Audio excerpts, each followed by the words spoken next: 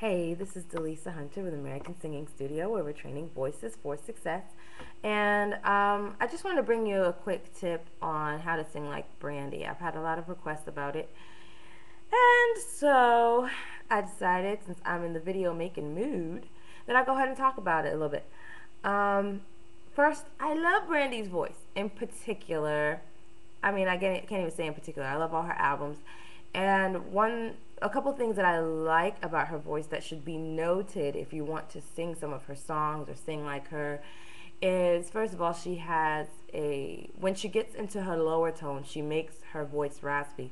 So she doesn't have a very clear tone. For example um, with the song uh, sitting up in my room that's the first thing that comes to my mind. Um, pray they all invest in my happiness. She doesn't have to sing it like that Pray that you'll invest in my happiness. But that's the way that she delivers. She makes, she kind of darkens her voice. She pulls her uh, soft palate up further than it maybe needs to be. And pray that you'll invest. And she has that beautiful husky sound.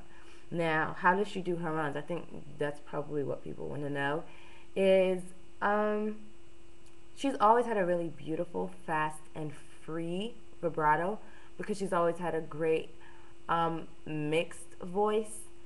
Um, and her voice has always been slightly nasal. So her voice is always sat right here, which allows her vibrato to be very, very free and bird like.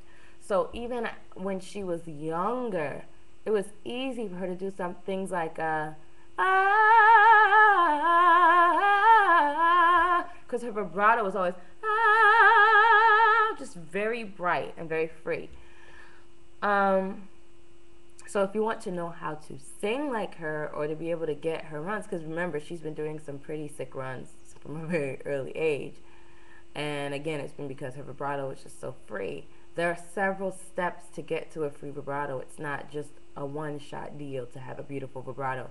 You have to have a free voice. And having a free voice means having, you know, not really so much throatiness um, it means having proper placement. Uh, she's always sung in the mask really, really well. That's just something Brandy's always just had, is knowing how to sing in the mask um, and having great um, placement. So even to the point where it may be a little bit nasal, but that works to her advantage because that's how she's able to do those fast runs. So I hope that helps and gives you some insight into um, her voice. And that's how she's able to kind of slip into her chest voice so seamlessly because her voice is always kind of right there. Really miss you, babe. So like that, you can't really tell what voice she's in. You can tell what voice I'm in because I just woke up. But um, you can't really tell what voice she's in because she just has very seamless transitions because she keeps everything right there.